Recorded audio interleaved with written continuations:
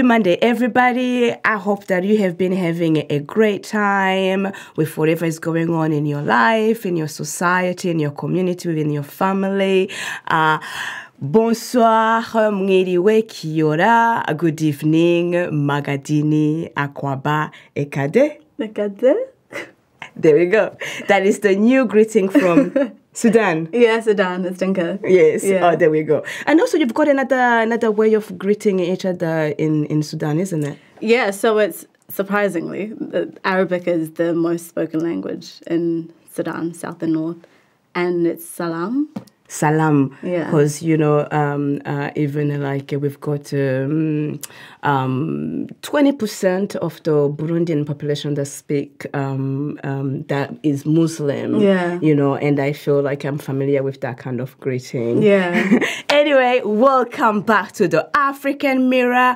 Tonight, we have a special guest in the studio. She's my friend. you know, would you actually give us the honor of telling us who you are? Yes. Uh, are you a philosopher? Philosopher. Uh, or why I are you such a super cute face?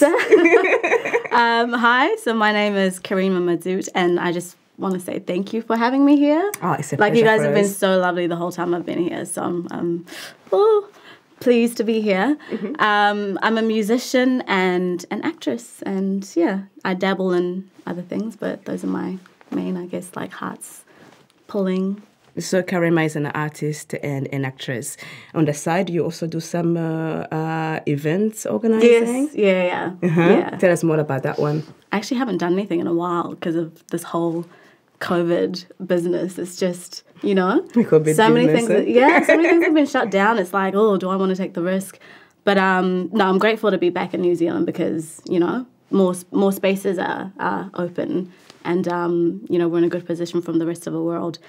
But yeah, it's I was doing um, live music events back in uh, Melbourne, and it was basically to try, you know, provide a platform for up and coming um, African artists, you know, and having um, you know that promoted more in our community. Mm-hmm. So Yeah, and what what what being from coming from uh, an actress and uh, uh, a singer kind of like background, what made you uh, feel like you wanted to To pursue uh, that? Yeah, to pursue that.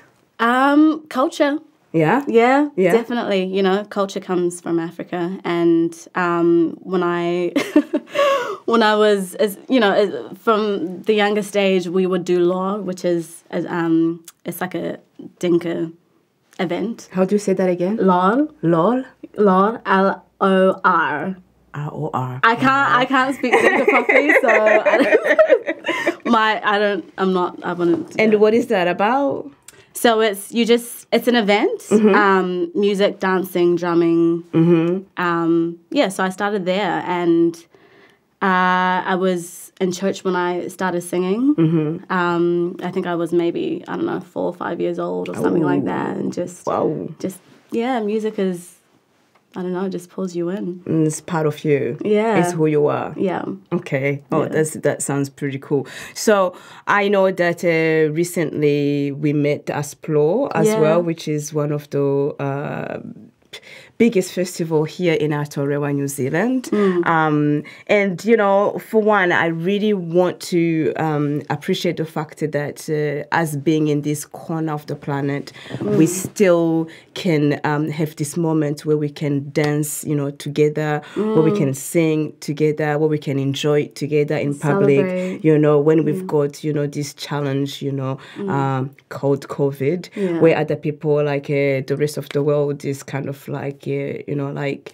they have to quarantine themselves. They they're in lockdown like for you know months on months, and and for me when when when when I was at Splore, I could not stop like thinking how really blessed we are. So You know, like from even uh, my um, uh, event management background and my, my, my, my DJing background to be able to be there and share um, this this beautiful thing that actually other people outside uh, certain countries don't have access to. How did that make you feel? Like uh, you know, because you were you you were at Splore first of all. Let's go back. You were at Splore. What were you doing at Splore? Oh, just having the time of my damn life. no, Splore was amazing, and honestly, it's it's probably yeah, my favorite festival in New Zealand. But just um, you know, I can see so much heart goes into it. Mm-hmm. Um, I saw John, the director, today, and you know, just to know the intention behind uh, behind you know why these people are putting it on and the huge consideration and forethought that they have um, about you know keeping keeping a safe environment. Um, you know, providing like a, a positive space where you know even kids can be safe in. It's it's amazing. Yeah, and you were performing at Splore? Yeah, I performed with We're Together. Okay, that's Yeah. good. So because you have been performing like for a while now, like you know, you've got you've been at Splore before Mm. and Rhythm and Vines. Yeah, Rhythm and Vine, Subsonic, Homegrown, and I, I I love all of them as well. Yeah, and Womad. Yeah, WOMAD. Yeah, Womad is also another like uh, you know my, one of my other favorite like uh. Yeah. festival here in New Zealand. You know, so like a big having that um that you know like uh, being an artist of your caliber who have like actually gone through different even only we're talking about uh, New Zealand, right? We're not talking about Australia. We're talking about New Zealand. Um, when you've got um, this experience of being on stage Mm. and entertaining people, like, um, uh, do you actually? Because I've had so many people asking me, you know, about it, you know, being like a DJ myself and having performed in front of other people. They ask me, do you get nervous when you actually are about to jump on stage? Um, it's yeah, it can be nerve wracking, but I think as soon as I get on stage or in front of a camera and I'm in the moment, then I'm fine. You know, I just I just surrender to it. But um, yeah, I think just because you can you can create the situation in your mind when you're performing. Yes, yeah. and I think it's you know when you have um, I don't know like yeah I, I don't know I don't know how to explain it. Yeah, because for me, like when um when I'm about to go on stage, like sometimes like even when I'm about to play, I rather want to be on site like an hour before, Yeah. so that I can actually get the um the vibe and the environment of what's going on Mm. uh, uh in that particular like time and place. Yeah. and it's true when I jump uh, uh on on on stage or like where I'm like at a station in clubs and I play the first tune, like the anxiety goes away. But all mm-hmm. this time when I'm behind and I'm looking, I'm kind of like inside. I'm like, oh my goodness, are these people? Is this crowd gonna dig my tunes? You know, am I gonna be able to make them, you know, their money worth it? Yeah. But then when I start like dropping the first tune, it's almost like It's I'm home. You know, I don't know. Like some other artists have said that they they, they become, you know, something Yeah. else. Like something else takes over them, and I do understand because when I'm on stage and I start engaging with the audience,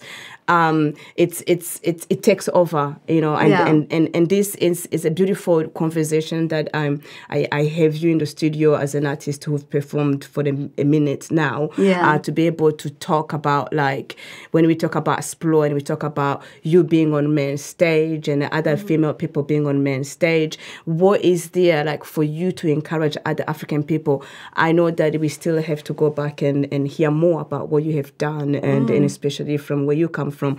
But what is um, something that you can actually like uh, uh, give to the young young african um, especially female or, or, or africans? But i'm just saying that because now we've got um, this this new energy coming in of like uh, let's empower like uh, the Mm-hmm. young uh, girls that I, I, want to follow their own passion you know? You know like because um, where we come from um, uh, ladies and women are mostly seen um, in different position. Mm. So you having done this coming from Sudan all the way to here, been to Australia, Yeah. tested different waters, come back here. Now you are in the middle of doing new videos for your new music. What is something that you can tell that little girl that is gonna be looking like, oh, that's Karima.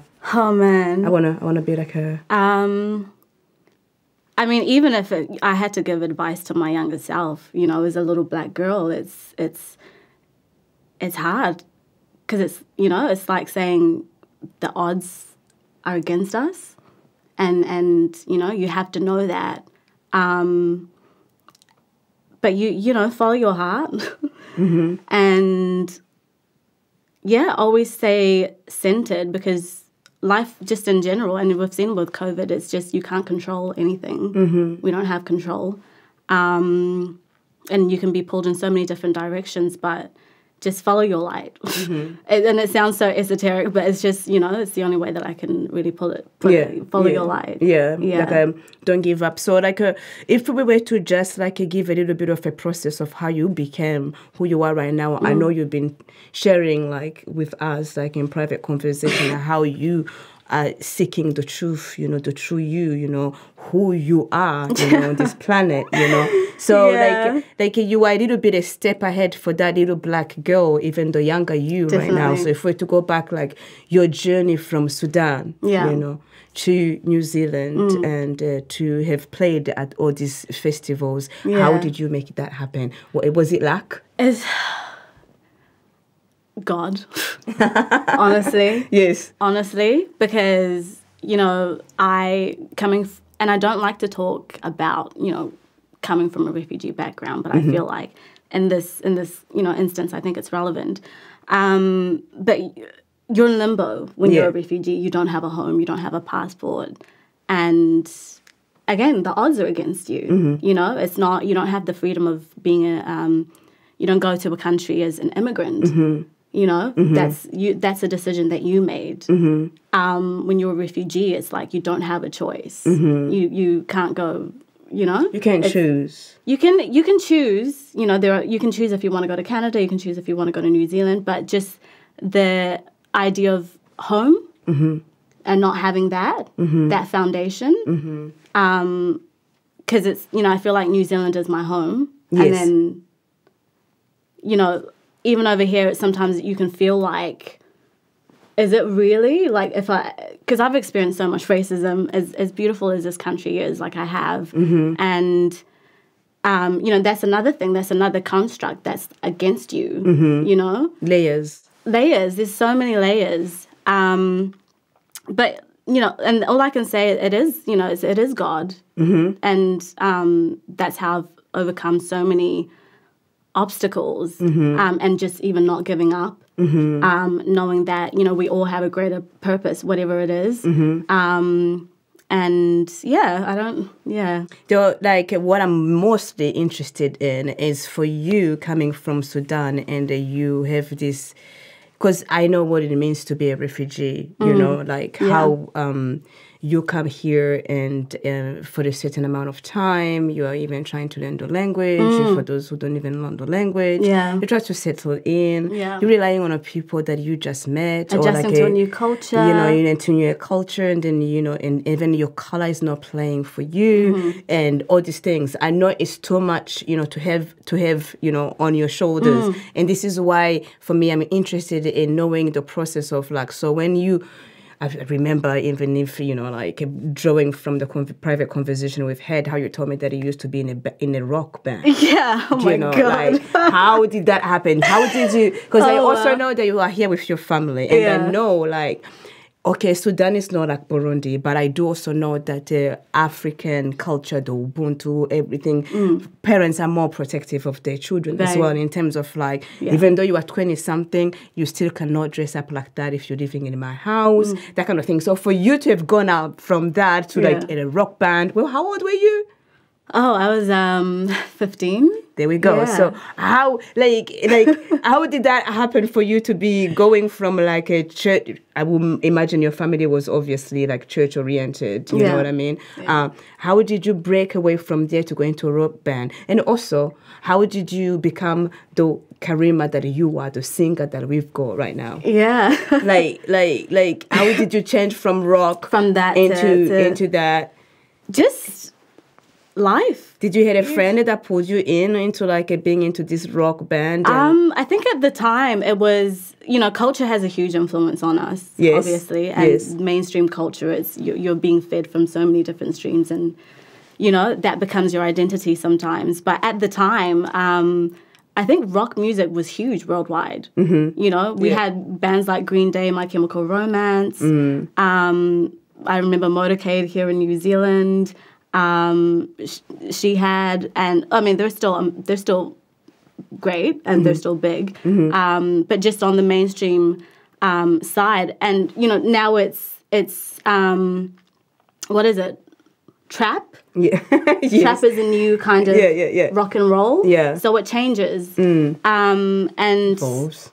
Pardon? It evolves. It evolves. Yeah, Definitely. yeah. And at that time, um, that's just yeah what was influencing me. yeah. And um, yeah, it was it was it took me through a dark kind of um, period Mm-hmm. because you know just I guess the culture of that kind of music at the time and it, it, and trap is kind of I see it the same, you know. On a if we're talking um, from the point of view of you know vibration and frequencies, it's not right, they're not exactly uplifting music. And if you're already in you know in an adolescent, yeah. Yeah. you know yeah, you're already yeah. a child you're developing you Yeah. don't um, it's easy to you know plant seeds in your mind In your mind. you know Yeah, because we were talking about how we need to be careful about what sound we listen to, isn't Yeah. it? Yeah, because some of them just get you these anxieties, or Yeah. they get you to break down, and you don't even know. they've been used as weapons in war there we go. yeah so it's um, th- they're strong they're palpable it's they're not it's it's not mythology it's not mysticism mm-hmm, it's very real yeah. So you were there, and then you're experiencing all these things, and then you were like, oh, maybe this is not supposed to be like uh, the uh, genre that I want to go into, and then Yeah. you know you starting like uh, build building up your own your own your own you, your Yeah. own character, your Yeah. own your own uh, charisma. Yeah, I think as I grew older, my mind just became open to to new genres and um, not feeling like, oh, this, you know, because this is all I listen to. This is what defines me. Because you know, so much of music has um, an impact on your identity, what you wear, you know, your slang, Your of people- haircut. your haircut, the people that you attract around you. Yes. Um, so yeah, I think I just grew older and I just you know you you become you just become more open and receptive to different influences and um, trying to find what's I don't know what's what's resonating me with in in my soul. You know what's not just a sound, but actually you know I feel it in here. So you know, and I'm still I'm still trying to find that. I mean, like I, you know, music is it can impact you in, in different ways depending on what you listen to. Um, but sometimes I just want silence, to be honest. Like just you know, you know, and then come back Be and just be like, okay, what is what is pure? Mm-hmm. is what is the sound of purity? Because yeah, Do you think that in your current um, um, um, creating process about the new music that you're about to put out, or EP you are working on, Yeah. Do you think like uh, uh, it has something to do with your roots back uh, from Sudan? Um, yeah, being um, creatively influenced by the people around me that that definitely has something to do with it. Um, and as far as content and the style of music, um, I'm not really sure yet because with some of the beats, um, they're still kind of developing. Um, I've written all of the lyrics. I know the kind of story that I want to tell from beginning to end. Um, and yeah, I'm happy with where it's at at the moment. But yeah, I guess we'll see what it turns out into. So I'm just, I'm just, yeah. Oh, that's good because like what is happening, um, a little bit of what was happening in Burundi as well is like uh, um, new artists are kind of like going back and taking um, some like iconic uh, Yeah. music from Burundi and then they will bring in this new beat Yeah. and and just to keep it like alive and, and, and Yeah. keep it going, you know. What do you think about that kind of like a new era of artists? who It's a breath of fresh like- air. Sorry? It's a, it's a breath of fresh air. Right. It really is. And I'm, I'm still finding African music myself. Um, but, you know, to even to, you know, to know somebody like you and the kind of beats that you play when you're, you know, playing in front of, in front of a crowd. And that's, that's something that's missing. Um, because we, um, yeah, I guess we only know what's what's within our small circle. So you, it's it's nice when new artists and people who are thinking on a different scope to come and introduce new ideas mm-hmm. to us or things that you know it, it comes from our culture but we yearn to to have it we don't really know where to find it mm-hmm. so to have people like you with a platform that you have you know, I'm, I'm, yeah, it's, it's, I'm grateful for that. Yeah. Oh, thank you. Yeah. So good. yeah. What did you think about my Splore set? Oh, oh my god. Honestly. And I told the girls too, you guys killed it. It was so amazing. It was so amazing. We're just like trying to, you know, fish for some compliments. yeah, yeah, yeah. What, what, was amazing about it? Do tell me. Oh. Now she's really like, okay. I am. I am fishing for. co- I did say I, I got one fish, let me get the whole ocean. I confessed. one time, ORIKoL facts. oh man um and i was telling john as well like um the the director Mm-hmm. just so many compliments to the festival because it was the first time that i'd seen so many african acts you know Mm-hmm. As many, yeah. as many Yeah. and we need that that is so true. we need it We do. Like they did an amazing job this year of giving a little bit of a voice on uh, different platforms for Mm-hmm. uh, African music, and it was well perceived. You know, Definitely. Yeah, like it it it, it made sense um, for us to be there, Yeah. even as a well, if I may say so myself, because obviously she's not telling me. That it was so good because um, we had a group of uh, young girls and we've been rehearsing for a long time because within our minds we just i admire the work that you all put into it It was it was really good, and Yeah. I'm very thankful to like the whole team that was there, like Yeah. the dedication into representing Africa. I felt like for the first time in New Zealand, Mm. that was something that I felt like as a DJ and how much I've been working into this industry. That's something that we managed to actually deliver with a big, big bang. You know, I was really like. Yes, Yeah. thank you for this year. And then we also, you know, like a, a thing. It's it's it's a sad thing to say, but because you know we um again privileged to be in Aotearoa, New Zealand, where we can, you know, still have this moment to be together and enjoy and dance and forget about the stress of COVID when other people are not are not actually able to access such vibes. Yeah. That they've allowed like uh, uh, some events, you know, like uh, organizers to focus on promoting local artists. Yeah. You know, and that's how we ended up having all this variety of, Yeah. you know, local artists p- performing at Splore, Yeah. which actually is recommendable for them. It was, That's can amazing. imagine how hard it was and, and, and, and everything. But yeah, you're Yeah. right. The, the, the number of acts that were from the African community was quite beautiful to Yeah. see. it's unique It was, it was and actually it shouldn't quite unique. be it shouldn't um you know it, sh- it should happen more It should not end there, eh? Yeah. It should not end there. Yeah. Oh, Yeah. that's good. As an event manager, you're like, shall we do something? Do think, shall we shall we do something about it? Yeah, I mean, you know, we're we're also we can empower ourselves to put on our own um, uh, platforms like the you know like what you've got here and the um, events that I've done, you know, and other you know, Maka doing her her events. Um, I'm glad that we can do that within the community as well to uplift each other. Mm-hmm. Because yeah, with some of these opportunities outside of our community, we really have to, you know, it's still encourage and motivate people to be part of it. Even these young African people that are like, yo, I can do it, but I do not know where to go. Yeah. It's actually quite amazing to see um, uh, African people representing Africa on that big platform, you. Yeah. know, as, as, as big as, as, as. Um, I do, I do want to uh, share a little bit about uh, where you actually do come from, which is Sudan. What would be the three, four things that will come to your head to say, if you go to Sudan is about this, or if you want to visit Sudan, go here. Mm. Culture wise, you know, no limit. yeah. Oh man. Beautiful boys, Uh, definitely. right? Beautiful boys, beautiful girls, okay, fine.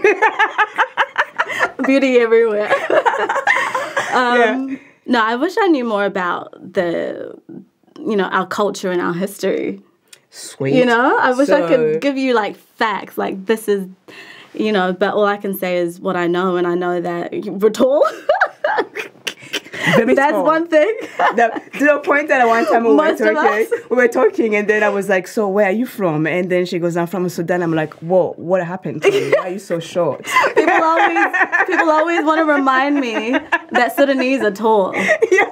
and then they ask me if I'm Sudanese. So I just I just wanted to point that out. Where- Where were you? Where everybody was at the market I don't know.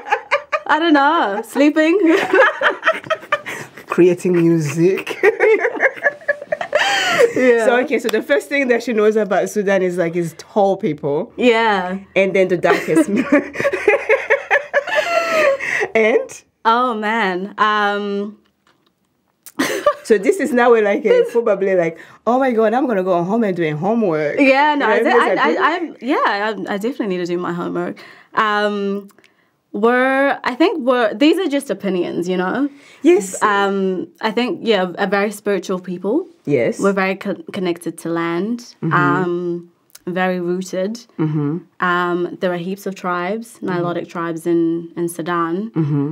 Mm-hmm. And what else? The before uh, South and North became separate.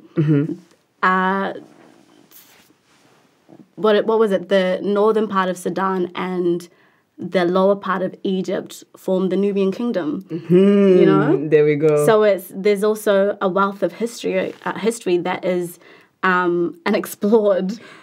I believe that. I Yeah. believe that or unexplored or suppressed. suppressed. yeah, Yeah. suppressed Yeah. probably because you know even I for me also you know it's a nautical fact you know I believe like all these countries of Africa that are going through some um, endless wars Mm. is because there's something there that is of interest Yes, to other course. countries Yeah. but we obviously you know oblivious to it and we just kind of I like, mean, we know we've we've got the minerals and the gold and the diamonds and the tungsten and the you know, we've they're the, that's why all of these wars are happening. Oil resources. Yeah. Yeah. Yeah. So, but uh, um, i i i it's even more of a fact for us to be able to just, you know, uh, remembering and returning to Mm-hmm. like how things are not just being corrupted or brainwashed Yeah. with, you know, everything that we are told on TV Mm-hmm. or, or um, these, you know, charitable organizations that are, you know, helping Africa and all that kind of thing. So basically, um, Um, so the tallest people, People. in Africa and also the, the, the I think you guys have the dark, darkest skin. Yeah. You know, like I see all these pictures. The most about, melanated. right? I don't. I wonder how that happened. Oh. I, I guess maybe Sudan are like a birthed or other, you know. Yeah. I I mean I guess it needs doesn't need proof. I I don't know, but the you know, belief doesn't need proof. I I believe that. But also, is- like all of Sudanese are not really dark skinned, isn't it? No, and um, I would use my mum's side of the family as an example. Yeah, because I was so I I stayed in Kenya for seven years and then came here. Had never been to Sudan until eight years ago, and all I knew was you know the Dinka side of my family, which is the um, you know the notable features that people would you know think Sudanese tall, dark skin, blah yeah. blah blah. Yeah. Um, and then I went to Sudan for the first time, and I'm just like, you know, it must it, there must be every kind of like gene sort of feature over Yeah, here yeah. because on my mum's side of the family, light eyes, you know, light brown hair. Um, some of them look like the West African. This is the tribe, Yeah, you know, yeah. and even Dinkins, you know, we don't we don't all look the same as such a variety of Mm-hmm. of features. Yeah. And Even like- just you know the the narrow nose and you know it being Eurocentric, you know, focused. It's Af- so many people in Africa have long hair, you know. Oh, that's interesting. So It's like really interesting. there's That's a lot of now. stereotypes that are just false. And you've got uh, Arabic. Um, Yeah, Arabic. yeah. Yeah, Arabic, Dinka, um, Nuer, so many different languages, so many different tribes. And this is why, you know, I wish I knew more because there's just so so many layers. You can still, you can still learn. Yeah, I'm, I'm definitely going to go on a journey becoming- and find out Becoming. about Kush. Yeah. yeah. Oh no, thank you very much for giving us your time. Um, we will be putting on a um, oh um, a tune uh, that uh, Oh. that you have uh, you have uh, given us to share you know, Yeah. to everybody else so that we can hear how beautiful your voice is. Oh, thank I you. believe you're the next eight. That is that is that is why we probably might do another another interview when you just kind of like, oh hey Karima, I'm your friend. Remember? She started here on this couch. yeah, yeah. I really would love. Like, I see you as actually kind of one one of like uh, the, the the the the young leaders. You know, in terms Oh, of wow. like you know like uh, he, here in in in Aotearoa for the African community. You know, like uh, we Yeah. want to wish you well. I know if Thank you know with you. your acting, we didn't get to talk so much about your acting because you Yeah. are such like a multi. You know, uh, functional system. Uh, yes, thank you for uh, giving us this opportunity to get to know you a little bit better. Thank you for having me. And thank you for giving us your ears out there. We will see you um, next time.